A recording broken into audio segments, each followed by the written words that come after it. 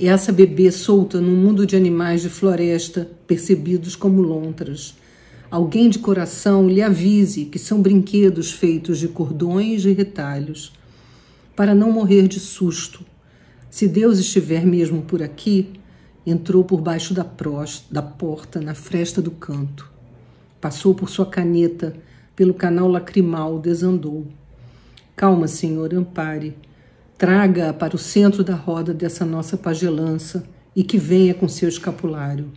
Traga essa criança iluminada para a nossa manjedoura de cristal. Vamos derramar letras, falas, cânticos, rezas, bênçãos e livros sobre suas mágoas mais doídas, as de hoje, as urgentes.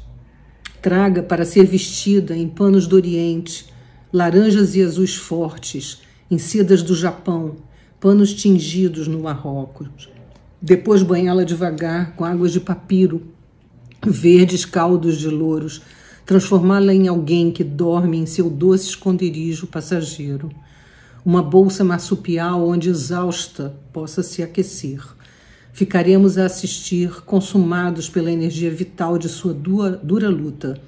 Ficaremos guardando seu sono secular para que o último raio de sol esteja e quando, depois de tudo, se erguer brilhante, roupas embaralhando vento em seu cabelo, saberemos que o Senhor, meu Deus, esteve e ouviu, veio e se sentou, cuidou e abençoou, lhe deu colo e hóstia.